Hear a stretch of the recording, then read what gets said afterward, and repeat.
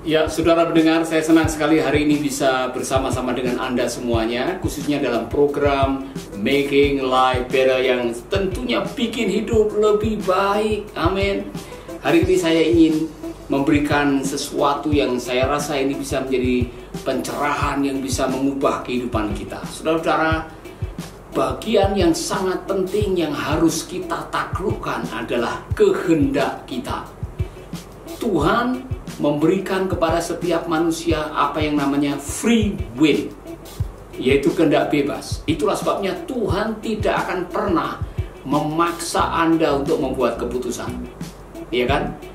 Tuhan hanya memberikan guideline, tuntunan bagaimana bisa membuat keputusan yang benar sehingga apa yang kita lakukan sesuai dengan kehendaknya.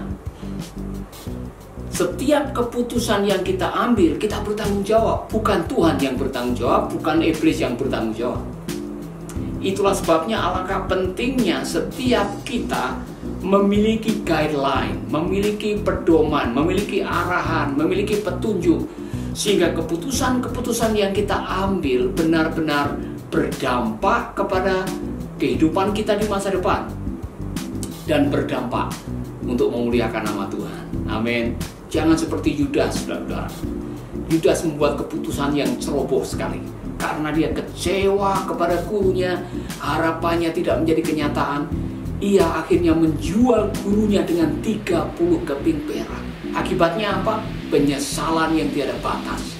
Dia pergi dan dia menggantung diri dan habis riwayatnya. Saya tidak ingin hidup seperti Yudas.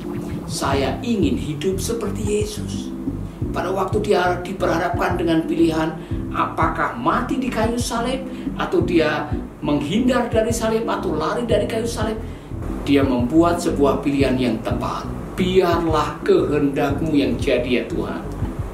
Bukan kehendakku. Dan apa yang terjadi saudara-saudara keputusan yang dia buat untuk lebih mengikuti kehendak Allah membuat hidupnya benar-benar bermanfaat bagi seluruh dunia Hari ini saya mengenal keselamatan, hidup saya dipulihkan, saya mengenal kebenaran.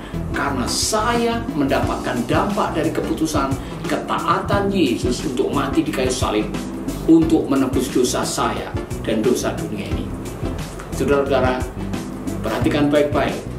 Ambillah keputusan yang membawa dampak bagi banyak orang, bukan dampak yang menjerumuskan kita untuk hidup dalam penderitaan dan di sisa hidup kita hanya ada satu kata-kata mengapa hidupku terus begini dengan derita yang tiada akhir. Milikilah pikiran dan perasaan Kristus, hiduplah dalam kehendaknya, ikuti petunjuk firman-Nya dan nikmati kehidupan yang penuh dengan damai sejahtera. Tuhan memberkati.